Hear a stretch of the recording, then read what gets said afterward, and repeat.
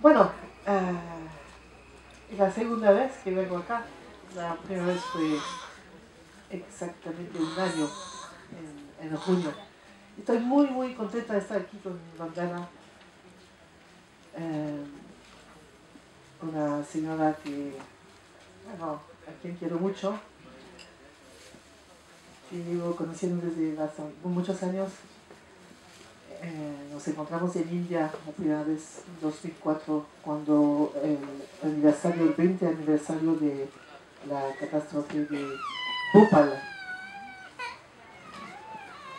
Estaba haciendo un documental sobre la biopiratería y ella era la única persona en el mundo en aquel momento que se preocupaba de verdad por eso, del problema de las patentes sobre las semillas, sobre las plantas.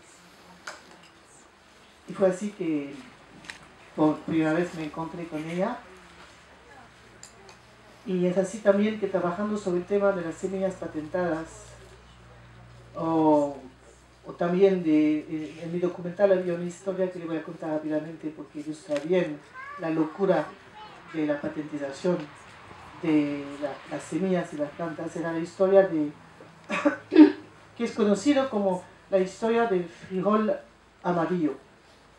En México hay un señor gringo del Colorado que vino y encontró en el mercado eh, que había en México, que es eh, el centro de origen del frijol, amarillos, eh, frijoles amarillos, que no existían en Estados Unidos, entonces se compró una bolsa de frijoles amarillos, se los llevó para Colorado, los sembró y se fue para Washington para pedir una patente y la consiguió. Fue considerado como el inventor del frijol amarillo y los campesinos mexicanos que vendían frijoles amarillos hacia Texas o California, donde hay una gran comunidad mexicana, no podían seguir haciéndolo sin pagar regalías al tipo este.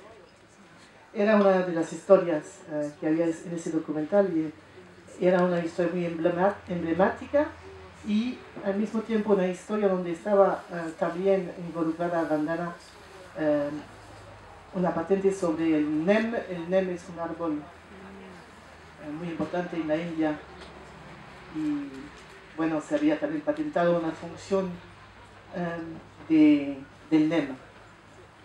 Para mí fue el, el inicio y que me llevó finalmente al, hacia el mundo según Monsanto, esta película, porque mientras estaba haciendo este documental sobre la biopiratería, eh, me enteré de que había una multinacional norteamericana que a mí me quiere mucho ahora, que, eh, que tenía como 600 peticiones de, de, patentes sobre plantas y semillas.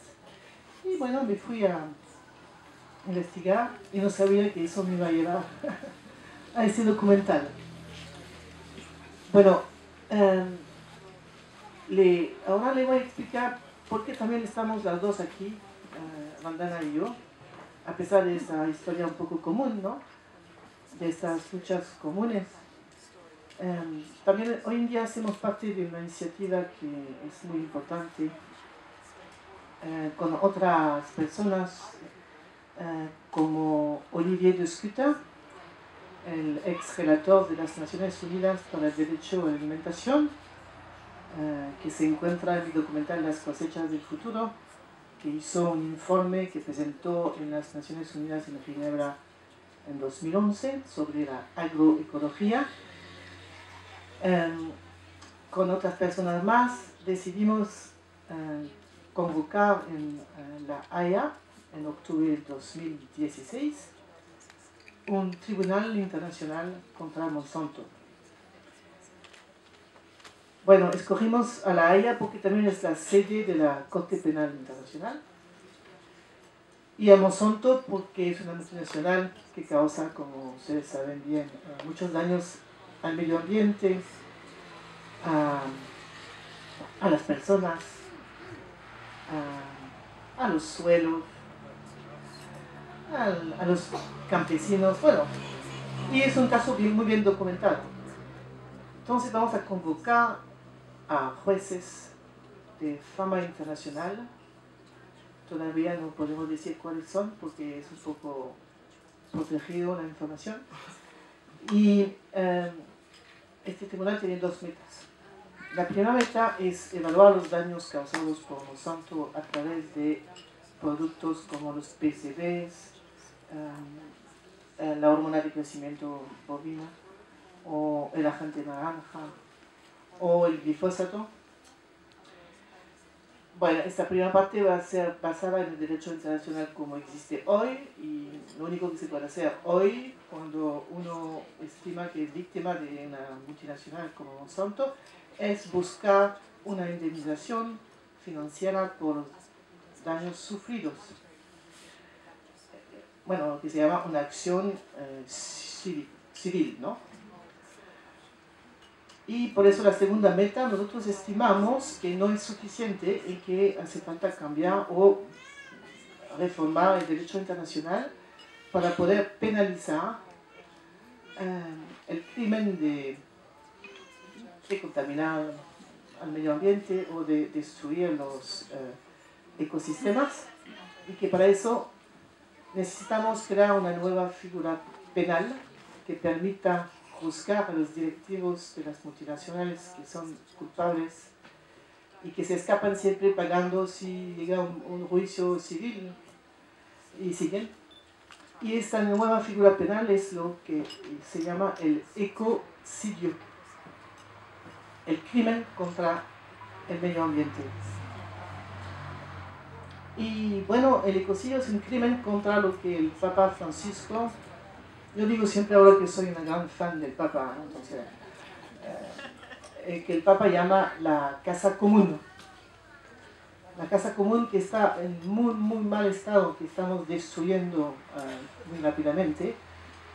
Y, hoy en día es muy difícil eh, frenar las multinacionales que ponen en peligro o destruyen la casa común porque falta un, instrumento legal que lo permita. Por eso, los jueces de ese Tribunal Internacional de Monsanto va, van a hacer recomendaciones a la Corte Penal Internacional para que esta Corte eh, pueda incluir dentro de su mandato un nuevo crimen que es el ecocidio. Hoy en día, nada más que hay cuatro crímenes em, dentro del mandato de esta Corte Penal Internacional. Es el, el crimen de el, genocidio, el crimen de lesa humanidad, el crimen de agresión y el crimen de eh, guerra. Nosotros lo que pedimos ahora es que se incluya el crimen de ecocidio. Entonces, eh, si es posible, recomiendo, bueno, recomiendo pues, ir a la página web de Monsanto Tribunal Internacional, va a ver, eh, es en 11 idiomas, hacer conocer este enlace. Todas las organizaciones ONG que quieren juntarse al listado de las eh, asociaciones que apoyan el tribunal, por favor, contactar al tribunal en correo electrónico. Y ustedes van a ver también que hay una plataforma de, de financiamiento participativo que lanzamos en el mundo entero porque ese tribunal eh, va a ser financiado por los ciudadanos del mundo y, todavía nos, nos hace falta dinero para poder bien hacerlo. Entonces, eh, cada uno puede ayudar, sea con 100 pesos, eh, y la idea es que todo el mundo eh, financie esta iniciativa que es única y totalmente excepcional. Bueno, ya con eso creo que dejo la palabra a, a Rondana. Muchas gracias.